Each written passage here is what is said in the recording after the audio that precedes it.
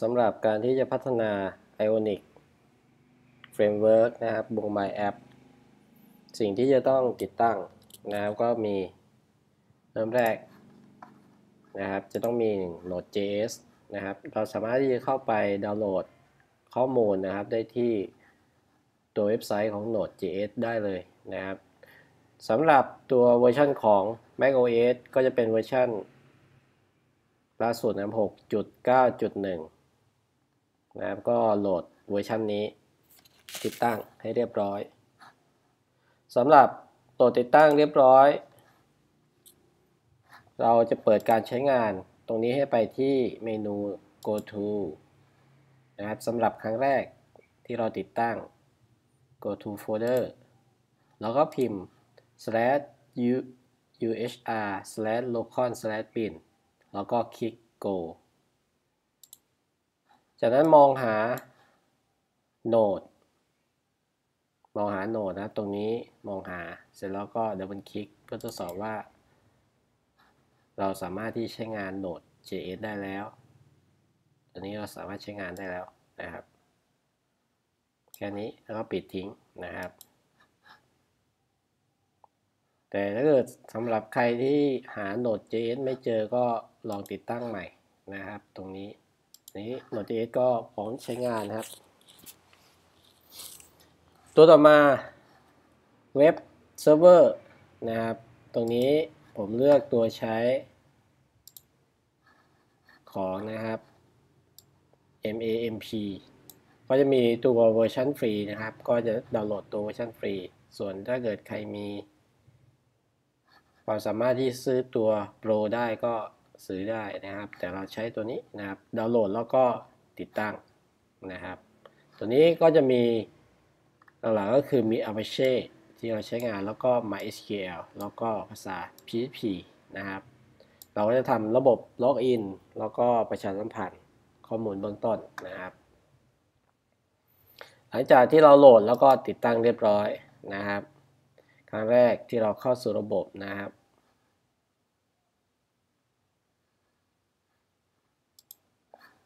ตัวนี้นะครับ เราก็สามารถใช้งาน PHP MyAdmin ได้ ก็พิมพ์ localhost slash php MyAdmin นะครับอ่าเดี๋ยวเริ่มต้นนะครับสำหรับตัว framework ตัวนี้ เป็นตัว framework ที่เป็นแบบไฮบริดนะครับ ที่สามารถที่จะพัฒนาทั้งบน Android ก็ได้นะครับ รันบน Android ก็ได้ OS ก็ได้นะครับ Ionic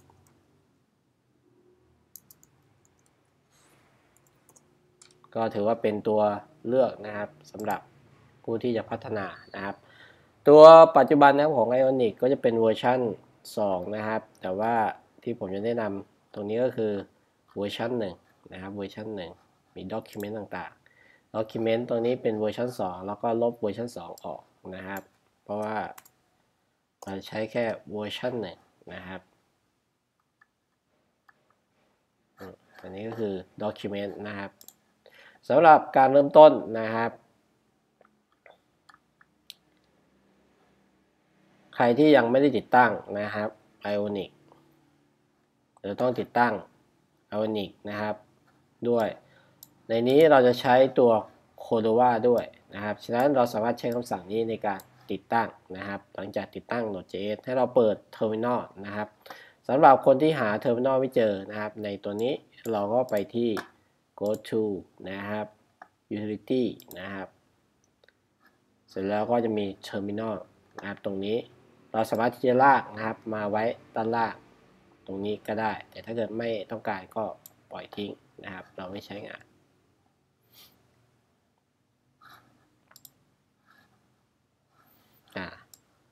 หลังจากที่เราได้นะครับตัว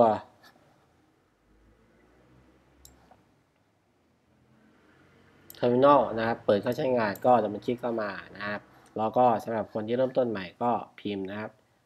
คำสั่งเหล่านี้ลงไปเลยนะครับก่อนที่เราจะพิมพ์นะครับ การติดตั้ง Cordova กับ Ionic นะครับ ในเครื่อง Mac เราจะต้องเข้าสู่โหมดของ root ก่อน นะครับ ก็ใช้คำสั่งนะครับ sudo สู่ขีดนะครับแล้ว enter ครั้งหนึ่ง เสร็จแล้วก็ใส่ password ที่เราล็อกอินเข้าเครื่องนะครับ แล้วก็ enter นะครับ password จะไม่โชว์นะครับอันนี้เราก็สามารถเข้าส่วนของ root นะครับ แล้วเราก็ใช้คำสั่งติดตั้งนะครับ ตัวนี้ไปเลยสมมติผมติดตั้งนะครับ เราก็ก๊อปไปนะครับ แล้วก็วางเสร็จแล้วก็ติดตั้งพอดีเครื่องนี้ติดตั้งเรียบร้อยแล้วนะครับ ทั้งโคโรวาแล้วก็ i o n i c นะครับ หลังจากติดตั้งเรียบร้อยนะครับ ก็ อันนี้ผมปิดทิ้งนะครับ หรือว่าคุณจะออกจาก root ก็ใช้คำสั่งนะครับ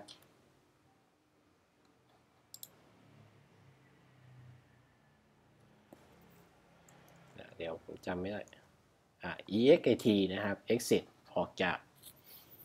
root นะครับ หลังจากที่เราติดตั้ง c o r o v a นะครับ ในการติดตั้ง c o r o v a ตรงนี้อินเทอร์เน็ตจะต้องไม่มีปัญหานะครับ ใช้งานอินเทอร์เน็ตได้นะครับ โหลดได้ เพราะว่าไฟล์ต่างๆนะครับ เราจะโหลดแอปจากเว็บนะครับ ต่อมานะครับ พื้นที่ที่เราจะใช้เก็บโฟลเดอร์แอปนะครับ บางคนก็อาจจะเก็บไว้ที่หน้าเดสก์ท็อปอะไรต่างๆตัวอย่างผมจะเก็บไว้ที่หน้าเดสก์ท็อปนะครับอันแรกคำสั่ง ls นะครับ ตรวจดูไฟล์ว่าในเครื่องของเรามีไฟล์อะไรบ้าง มีโฟลเดอร์อะไรบ้างนะครับ ต่อมาเป้าหมายที่เราจะเก็บก็คือผมเก็บไว้ที่เดสก์ท็อปนะครับ ก็พิมพ์ cd นะครับ cd เพื่อเปิดเข้าใช้งานนะครับ หรือออกจากห้อง d แล้วกด tab กด tab นะครับ desktop แล้วก็ enter นะครับ ในนี้ผมสร้างโฟลเดอร์ไว้ก่อนแล้วนะครับโฟลเดอร์ผมตั้งชื่อว่าโฟลเดอร์ mobile ไว้นะครับ ก็ cd ls อีกครั้งหนึ่งนะครับ ดูว่ามีไฟล์อะไรบ้างนะครับ ในเครื่อง ตัวนี้ก็จะมีไฟล์เครื่องต่างๆ เราก็พิมพ์นะครับ cd mo by กดแท็บนะครับ เพื่อช่วยง่ายขึ้นแล้วก็ enter ตอนนี้เราเข้าโฟลเดอร์ของ mobile แล้วซึ่งในโฟลเดอร์ mobile ก็จะมีผมมีโฟลเดอร์ login อยู่ตัวหนึ่งนะครับ ต่อมานะครับเราจะใช้คำสั่งนะครับตัวนี้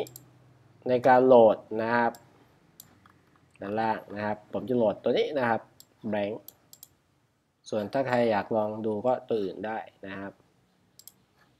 โหลด blank นะครับ ผมก็จะใช้ Ionic Start นะครับตรงนี้ ส่วนถ้าเกิดใครจะใช้เวอร์ชัน2 ก็ขีดขีดเวอร์ชัน2 ผมใช้เวอร์ชัน1 อยู่นะครับ My App Blank อันนี้คือนะครับ My App Blank ก็คือการตั้งชื่อนะครับโฟลเดอร์ผมใช้ตัวใหญ่กว่า My App ตั้งชื่อโฟลเดอร์นะครับ แล้วก็เลือกเทมเพลตเป็นแบบ blank b l a n k นะครับ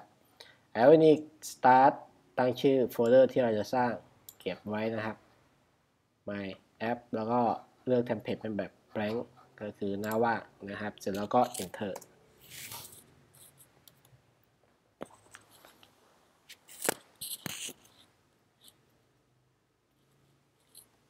ใช้เวลาสักครู่นะครับขึ้นอยู่กับว่าอินเทอร์เน็ตของเราเร็วไหมนะครับ ถ้าอินเทอร์เน็ตเร็วก็โหลดได้เร็วนะครับ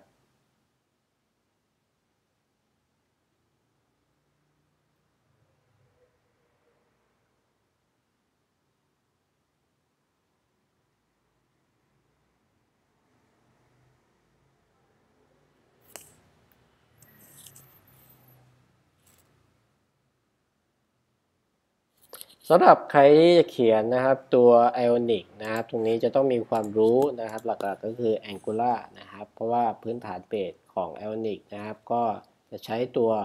Angular นะครับ เป็นหลักในการพัฒนานะครับ การเขียนต่างๆ เราสามารถที่จะเข้าไปศึกษาที่ตัวเว็บ Angular หรือบางครั้งก็สามารถที่จะไปศึกษาที่ W3C School นะครับ ตรงนี้ก็ได้นะครับ มี 2 ที่ ตัว W3C School ก็จะรวบรวมนะครับตัวอย่างการ ใช้งานนะครับตัวของ Angular นะครับเบื้องต้นนะครับเราก็สามารถศึกษาจากที่นี่ได้นะครับ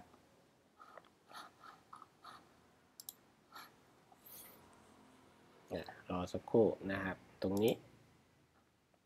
ตรงนี้ก็จะมีการติดตั้งนะครับ iOS นะครับปลั๊กอินเกี่ยวกับ iOS นะครับ ที่เป็นแพลตฟอร์ม สำหรับที่เราทดสอบนะครับดูการ build นะครับ ไปเป็น iOS หรือว่าเป็น Android